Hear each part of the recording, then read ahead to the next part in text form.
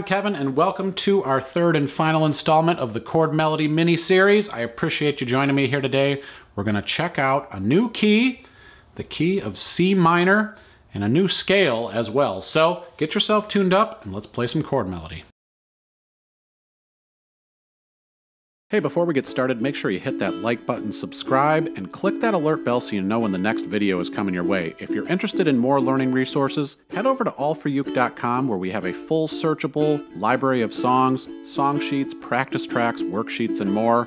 All for you, allforuke.com. All right, so since we're in the key of C minor today, we're going to use the C minor scale to complement and play all of our melodies. So let me play the scale for you, and then we'll go through it note by note. So it starts off like this.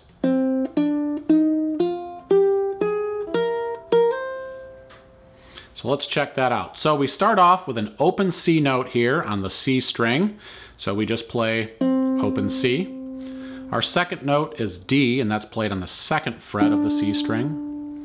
Then with my ring finger, I'm going to play an E flat note here, which is on the mm. third fret of the C string. We move down to an F note, which is here on the first fret of the E string. And then we have a G note out in the third fret of the E string. And we have an A flat note because we're in this minor key here. We have A flat that's played on the fourth fret of the E string.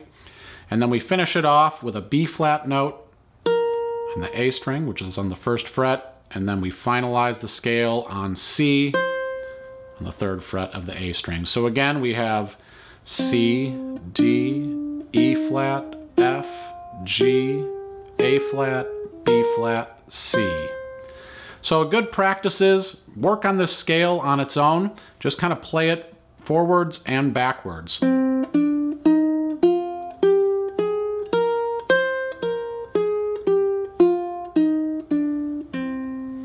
Really cool tones you get out of that C minor scale. So that's one pattern that we can use for the C scale, or C minor scale rather. The next pattern here, I'm gonna actually start the scale on the E flat note, but we're still gonna play all the notes within the key of C.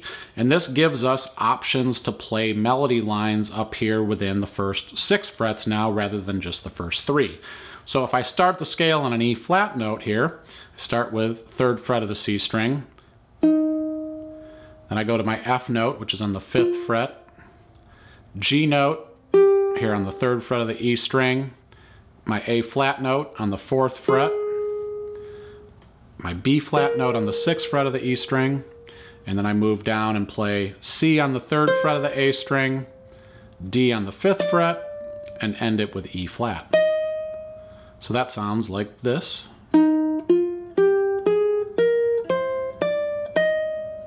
So that gives us access to quite a few options here as we play our chord melody.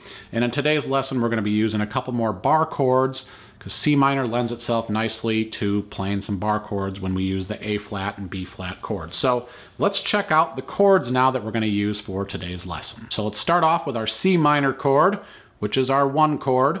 And I like to play that one with my index finger barring the bottom three strings on the third fret. There's my C minor chord.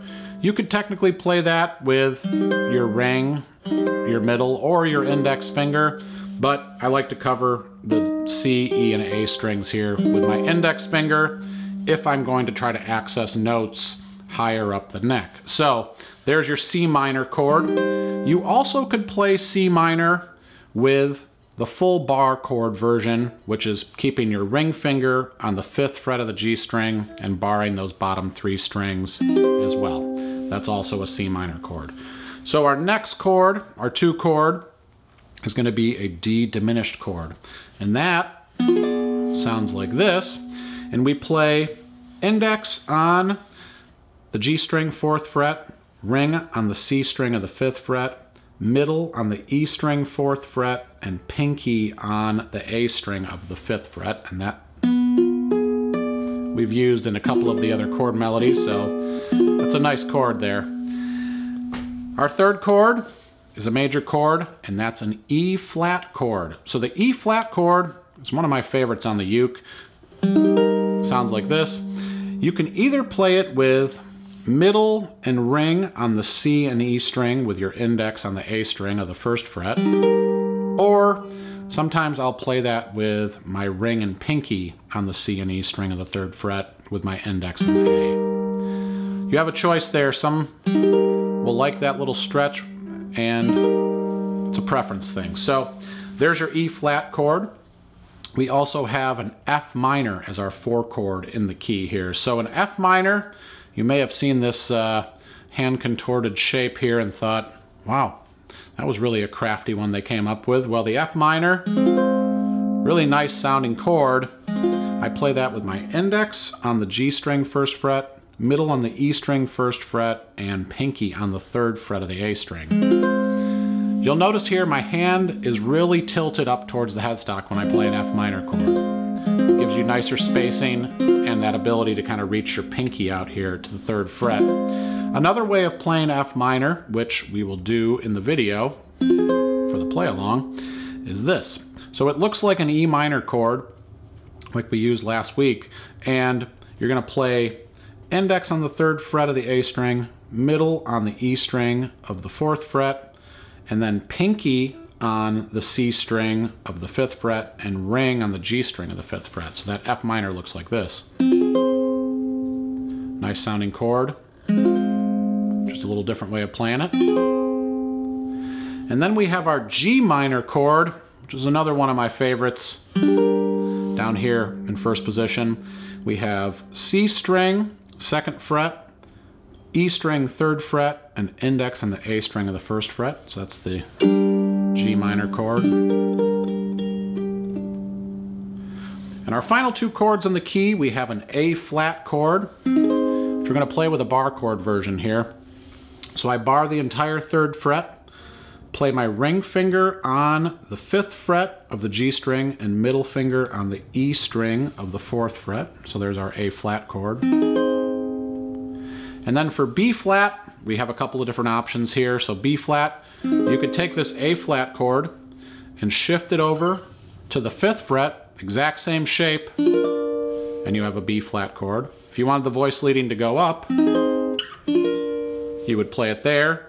If you want to go down to first position, you'd play B flat down here with ring on the G string of the third fret, middle on the C string second fret, and index barring the bottom two strings of the first fret. So those are the chords in the key of C that we'll need for today's lesson. And let's get into playing this little ditty together. If you're digging the sound of my uke, head over to allforuke.com slash shop. You can have a Kala ukulele for yourself. When you buy your Kala ukulele through All for Uke, you're supporting us, and we really appreciate it. Make sure you check it out. Concerts, sopranos, tenors, baritones, a wide selection of accessories, capos, and more. All for you, allforuke.com slash shop. All right, so the tune that you heard in the beginning of the video, we're gonna break it down into three components here. Let me play the first little section and then we're gonna break it down note by note. So here we go.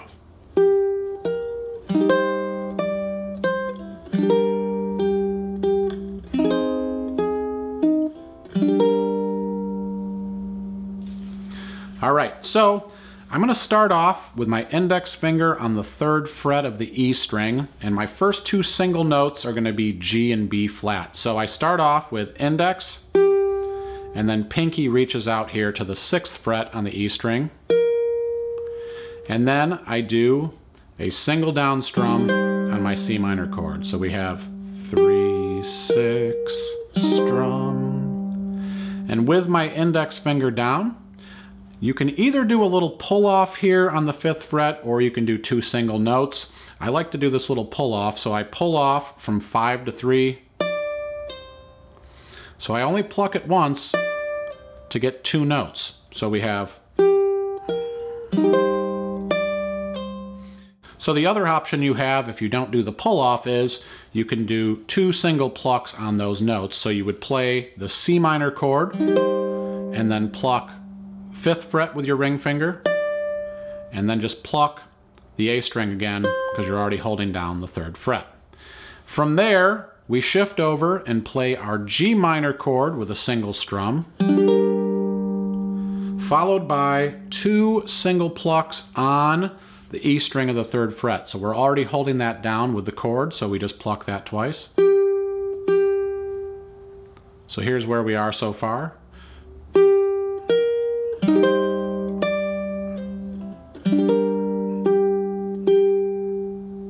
From there, we jump over to our A flat chord. So this is a nice little uh, transition to work on, moving from G minor up to our A flat chord. So single strum down an A flat, followed by single pluck on the fourth fret of the E string, which we're already holding down, and third fret of the C string, which we're also holding down as well. That's an A flat and an E flat note. And then we finish the phrase with one single strum on the G minor. So the whole thing together.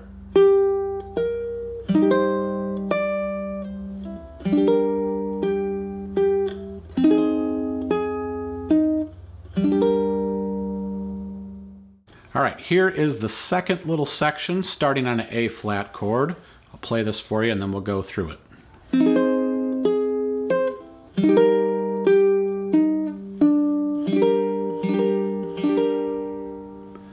So we start with an A flat chord, and then we play fourth fret of the E string, single pluck, which we already are holding down, and we are playing the third fret on the A string with another single pluck. So we have A flat, and then E string, A string. We move over to our E flat chord now with a single strum, and then we hold down these two frets, we'll just keep those held down and we're going to play the E string and C string. So, so far we have A flat, and then E flat. Now from here, we're going to be moving towards a G minor chord. So when we do that, I'm just going to take my middle finger, slide it from the third fret to the second fret, play one single pluck on the C string, let that ring, and then we'll do three strums on G minor.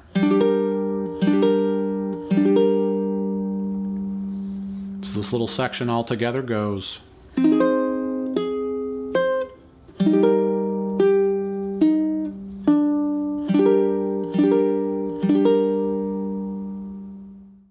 All right, now I'm going to play the third and final section and we'll go through it note by note. So here we go, starting on A flat.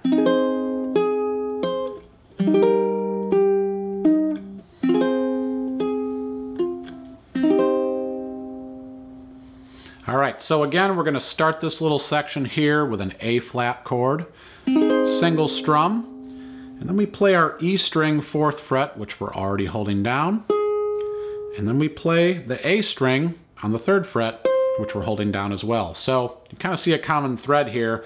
A lot of the notes you choose, yes, they're within the scale, but they're within the chords as well. So they're already going to sound pretty nice. So that's why I choose these notes a lot of times because they fit really well when you just play them within the chord. So we have A flat, and then four, three. then we cruise on over to our E flat again with a single strum. And we're going to play our E string, C string as single notes. So we have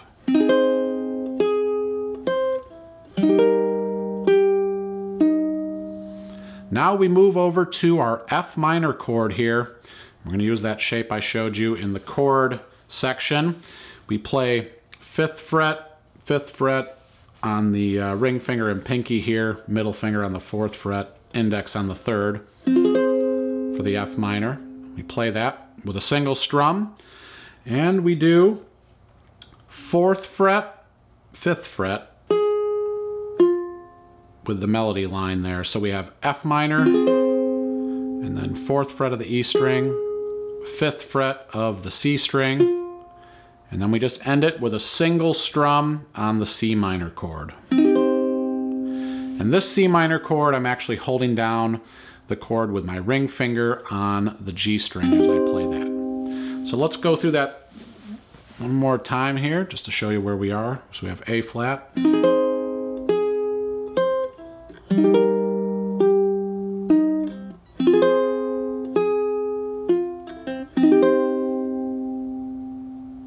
All right, here we go, nice and slow through each section all together.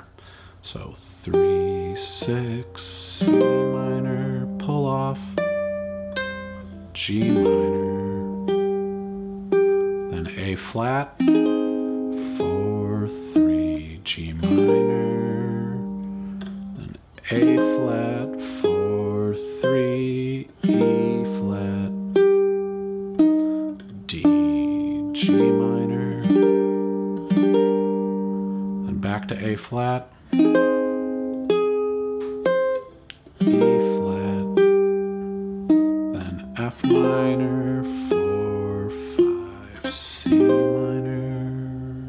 right, so now we're gonna go through all three sections, put them together, play them through in real time like we did in the beginning.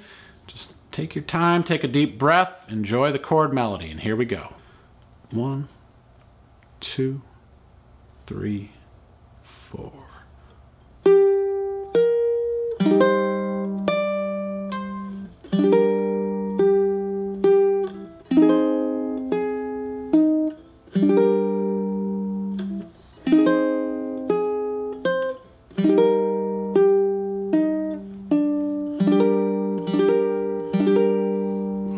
Flat.